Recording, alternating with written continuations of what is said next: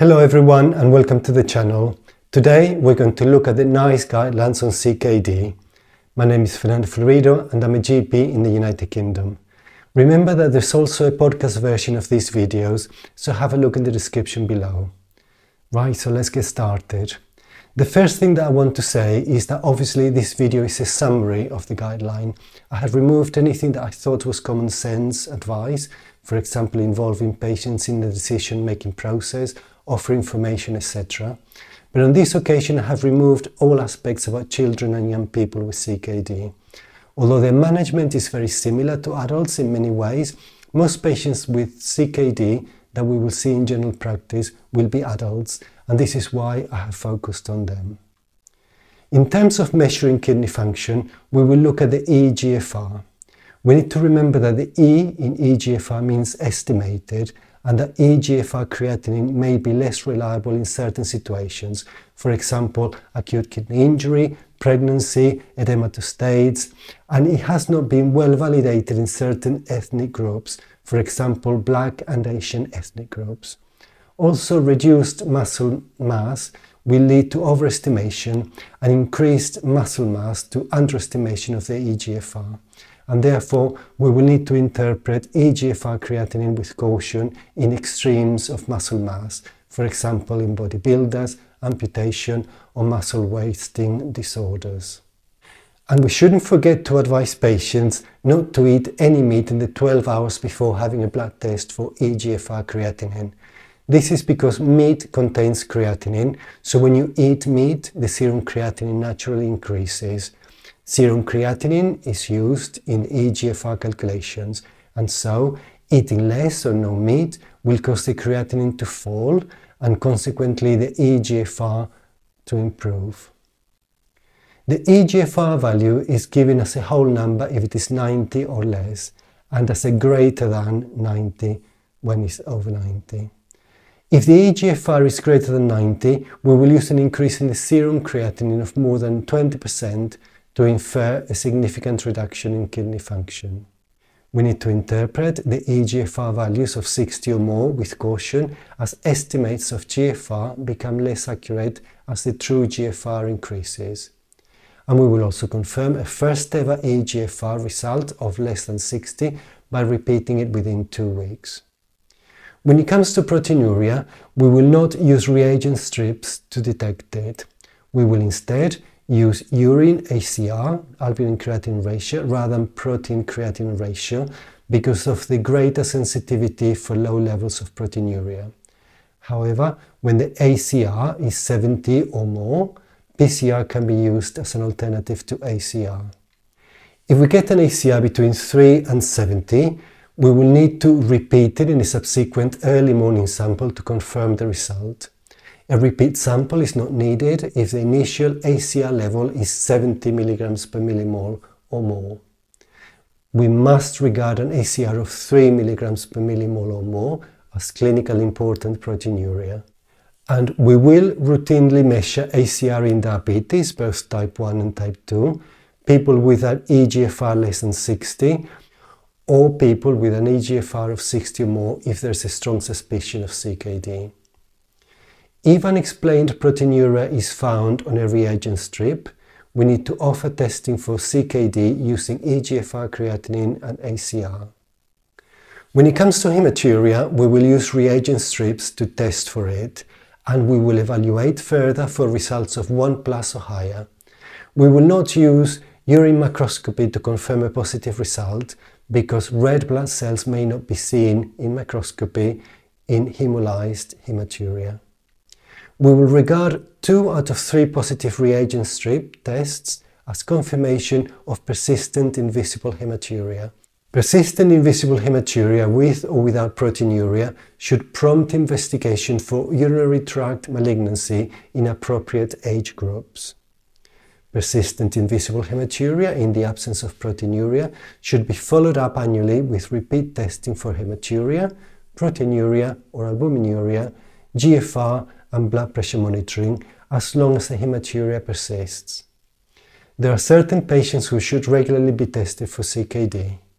We will monitor GFR at least annually if medicines that can adversely affect kidney function, such as calcineurin inhibitors, for example cyclosporin or tacrolimus, lithium or non-steroidal anti-inflammatory drugs are given. We will also do EGFR creatinine ACR to people with any of the following risk factors.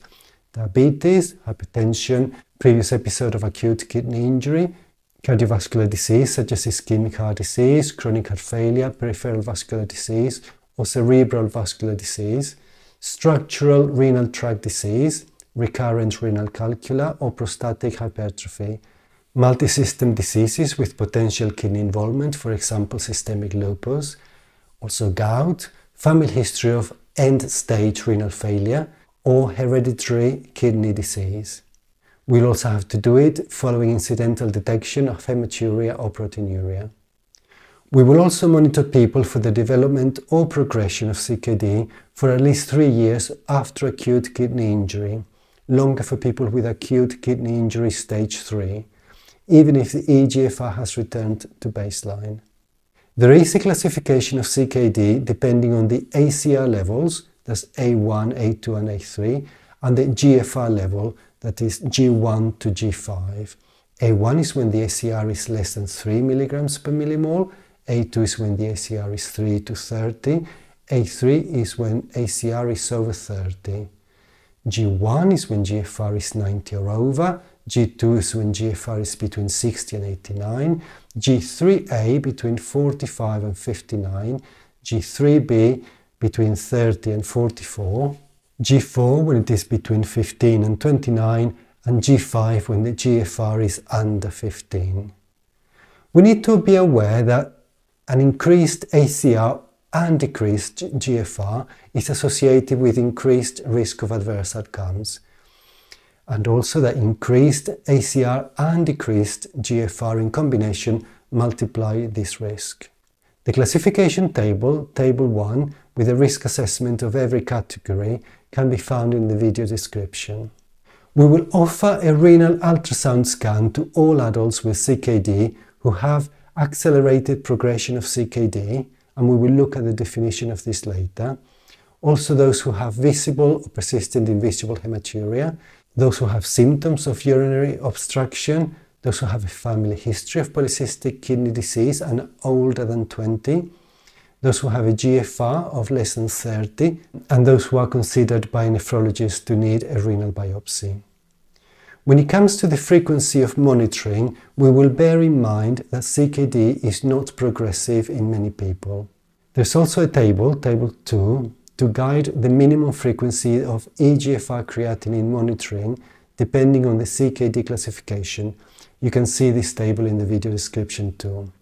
Generally, it would be once a year for G1, G2 and G3A if the ACR is less than 30, twice a year for G3A, A3, that is an ACR more than 30, and also G3B and G4 if the ACR less than 30.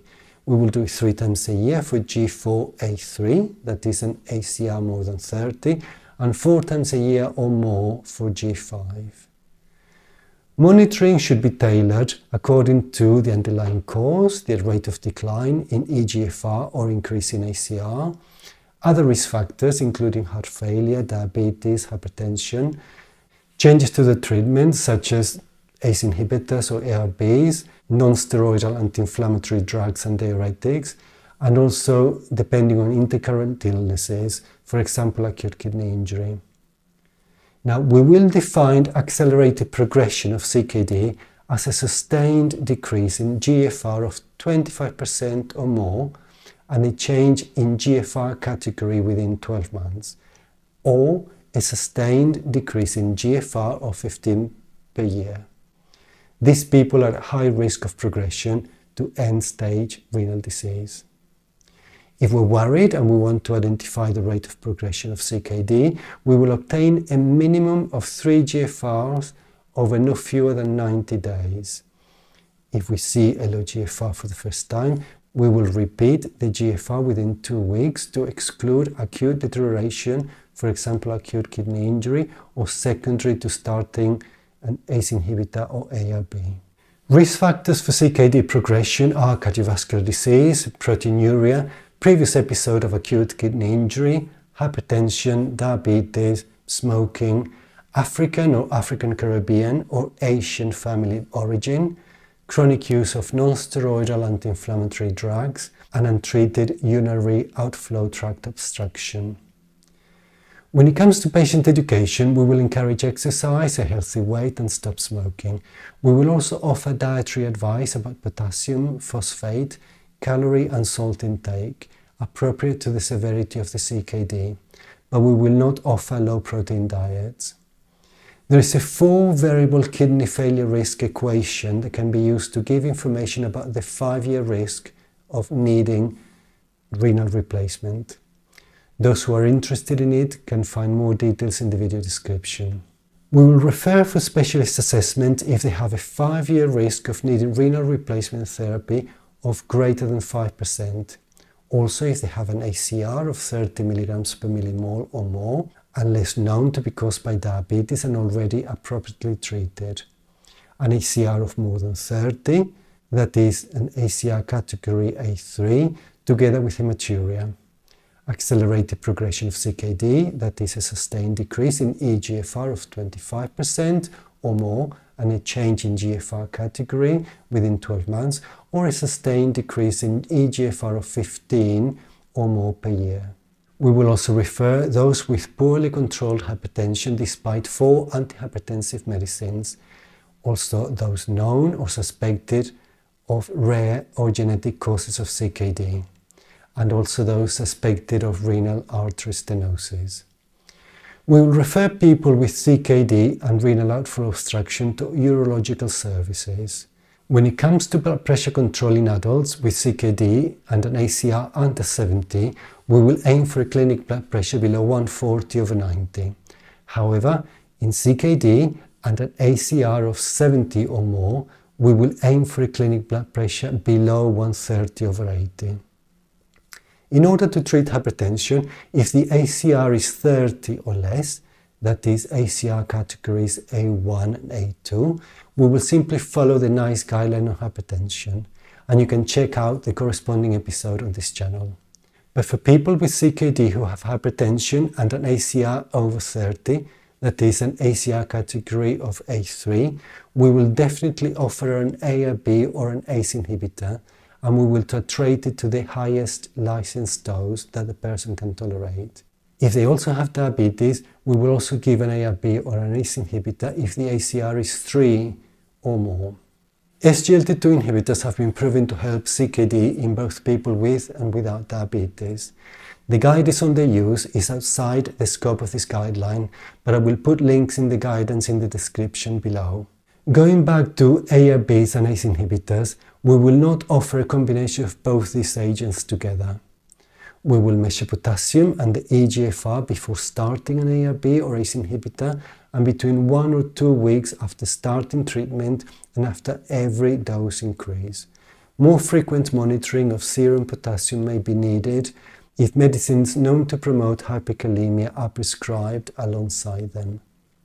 We will not routinely offer an ARB or ACE inhibitor if the pre-treatment potassium is greater than 5. In these cases, we will assess for and treat any other factors that promote hyperkalemia and recheck the serum potassium concentration.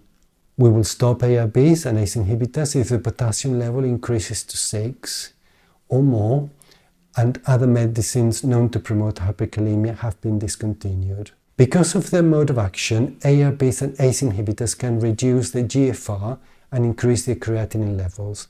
However, after starting or increasing the dose of an ACE inhibitor or ARB, we will not modify the dose if either the GFR decrease from pre-treatment baseline is less than 25% or the serum creatinine increase from baseline is less than 30%.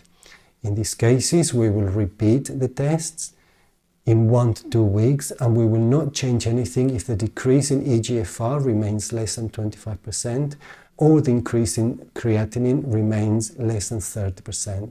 If the EGFR decreases 25% or more, or the increase in creatinine is 30% or more, we will investigate other causes of deterioration in kidney function, such as volume depletion or concurrent medication, for example, non-steroidal anti-inflammatory drugs. And if no other cause for the deterioration is found, we will stop the ARB or ACE inhibitor or reduce the dose to a previously tolerated lower dose and add an alternative hypertensive medication if needed. The advice on statins in CKD is covered in a different NICE guideline. I will put the link to it in the video description too. We will offer antiplatelet medicines only for the secondary prevention of cardiovascular disease, but we need to be aware of the increased risk of bleeding in CKD patients. When it comes to anemia, we will consider investigating and managing anemia of CKD if the HB level falls below 110 grams per liter or less, or they develop symptoms attributable to anemia such as tiredness, shortness of breath, lethargy and palpitations. And in people with anemia, if the EGFR is above 60, we will investigate other causes as it, the anemia is unlikely to be due to CKD. If the EGFR is between 30 and 60, we will investigate the causes of anemia, but we will use our clinical judgment to decide how extensive this investigation should be, because the anemia may be caused by CKD. If EGFR is below 30, we will think about other causes of anemia, but we will note that anemia is often caused by CKD in these circumstances. We will need to determine the iron status in these cases and we will need to test for iron deficiency every three months or every one to three months if hemodialysis is being used. And to diagnose iron deficiency, we will use the percentage of hypochromic red blood cells, which would be more than 6%. And if this is not possible, we will use the reticulocyte hemoglobin content, which should be less than 29 picograms. And if these tests are not available, or the person has thalassemia or thalassemia trait, we will use a combination of transferrin saturation and serum ferritin measurements. Transferrin saturation should be less than 20% to confirm iron deficiency, or serum ferritin should be less than 100 to confirm it. However, from a general point of view, we will not routinely use transferrin saturation or serum ferritin measurements alone to assess iron deficiency status in people with anemia of CKD. Equally, we will not routinely measure erythropoietin levels for the diagnosis or management of anemia of CKD. In order to manage the anemia, there is separate guidance and I will put the link to it in the video description.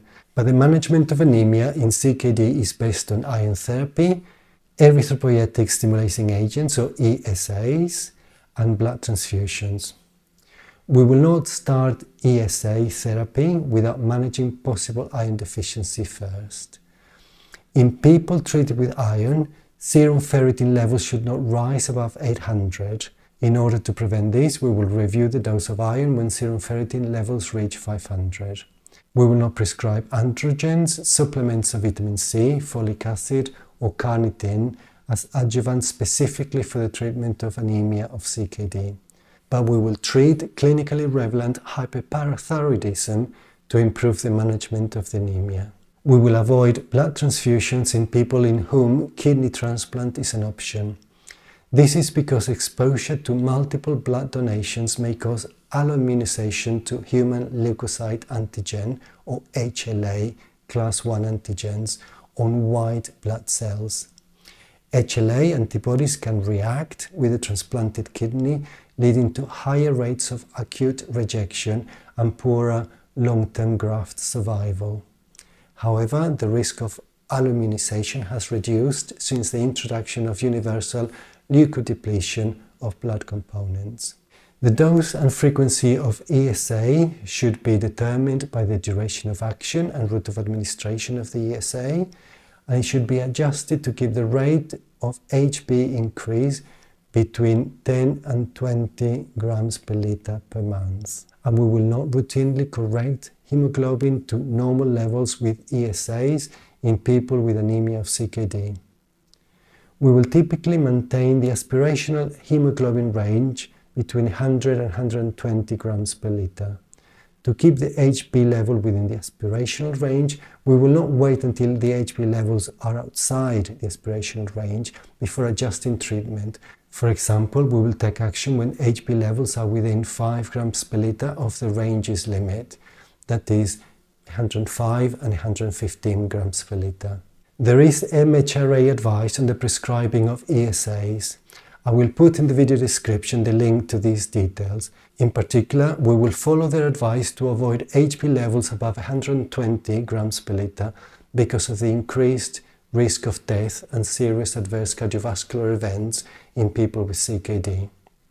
We will use the lowest dose of ESA to provide adequate control of the anemia symptoms and we will consider accepting hemoglobin levels below the aspirational range if high doses of ESAs are needed to achieve the aspirational range or the aspirational range is not achieved despite escalating ESA doses.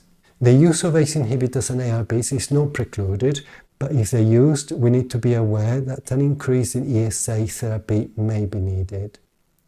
We will offer iron to people with anemia of CKD who are receiving ESAs to achieve a percentage of hypochromic red blood cells less than 6%, unless the ferritin is greater than 800 micrograms per liter. Also a reticulocyte HB count or equivalent above 29 picograms, unless again the serum ferritin is greater than 800. And if these tests are not available or the person has thalassemia or thalassemia trait, iron therapy should maintain transferrin saturation greater than 20% and serum ferritin level greater than 100 micrograms per liter unless serum ferritin is greater than 800 again. Most adults will need 500 to 1000 milligrams of iron in a single or divided dose depending on the preparation.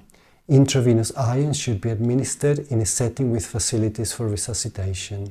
For people who are not having hemodialysis, we will consider a trial of oral iron before offering intravenous iron therapy.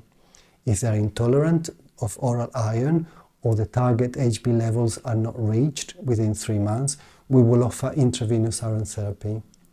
For people who are having hemodialysis, we will offer intravenous iron therapy. We will offer oral iron therapy to people who are having hemodialysis only if the intravenous iron therapy is contraindicated or the person chooses not to have it.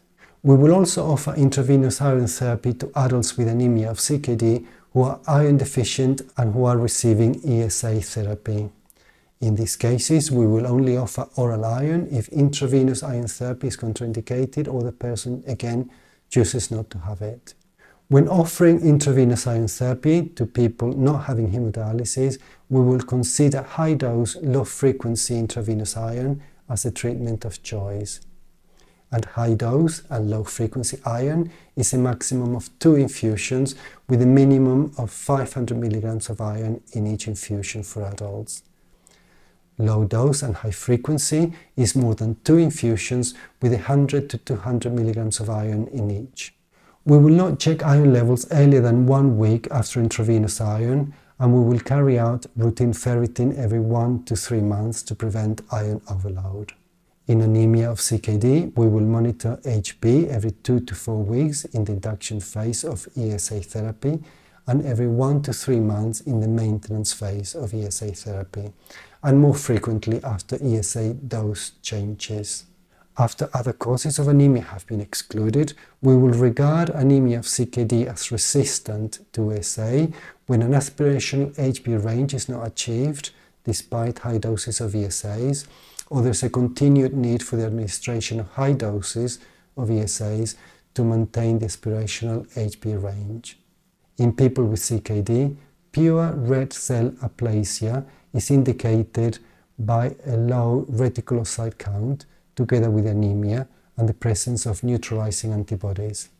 In addition, aluminium toxicity should be considered as a potential cause of ESA resistance after other causes have been excluded. If aluminium toxicity is suspected in a person with anemia of CKD having hemodialysis, we will need to test for desferrioxamine and review the management. We will consider specialist referral for people with ESA-induced pure red cell aplasia. We will take into account symptoms, quality of life, underlying conditions, and the chance of future successful kidney transplant, in addition to HB levels, when thinking about the need for red cell transfusions. Hyperphosphatemia in people with CKD stage 4 or 5 can be common, and when it comes to managing hyperphosphatemia, specialist renal dietitian should be involved. And before starting phosphate binders, we will optimize diet and dialysis for people who are having this. We will first offer adults with CKD stage 4 or 5 and hyperphosphatemia calcium acetate to control the serum phosphate levels. We will then offer sevelamer carbonate if calcium acetate is not indicated, for example because of hypercalcemia or low serum parathyroid hormone levels or not tolerated. If calcium acetate and sevelamer carbonate cannot be used, we will consider sucroferric oxyhydroxide for adults on dialysis if a calcium-based phosphate binder is not needed, or calcium carbonate if a calcium-based phosphate binder is needed. And we will only consider lanthanum carbonate if other phosphate binders cannot be used. If patients remain hyperphosphatemic after taking the maximum dose of a calcium-based phosphate binder, we will check that they're taking it as prescribed and we will consider combining a calcium-based phosphate binder with a non-calcium-based phosphate binder, titrating the dose to achieve the best possible control of the serum phosphate while keeping the serum calcium levels below the upper normal limit. At every routine clinical review, we will assess the person's phosphate, taking into account the diet, whether they're taking a phosphate binder as prescribed, and other relevant factors such as vitamin D levels, serum parathyroid hormone levels, alkaline phosphatase, serum calcium, medications that may affect serum phosphate or dialysis. There are other complications in CKD such as the effect on bone metabolism and osteoporosis. We will not routinely measure calcium, phosphate, parathyroid hormone, and vitamin D levels in adults with an EGFR of 30 or more, that is a GFR category G1, G2, or G3. But we will measure serum calcium, phosphate, and parathyroid hormone in people with GFR of less than 30, that is GFR category G4 or G5. We will offer biphosphonates if indicated for the prevention and treatment of osteoporosis in adults with a GFR of 30 or more, that is GFR category G1, G2 or G3. We will not routinely offer vitamin D supplementation to manage or prevent CKD mineral and bone disorders, but we will offer cholecalciferol or ergocalciferol to treat proven vitamin D deficiency. If vitamin D deficiency has been corrected and symptoms of CKD mineral and bone disorders persist, we will offer alfacalcidol or calcitriol to people with an EGFR of less than 30 and we will monitor the calcium and phosphate levels. Finally, we will consider oral sodium bicarbonate supplementation if both the EGFR level is less than 30 and the serum bicarbonate concentration is less than 20. We have come to the end of this video. I hope that you have found it useful and if so, please hit the like and subscribe buttons. Thank you for watching and goodbye.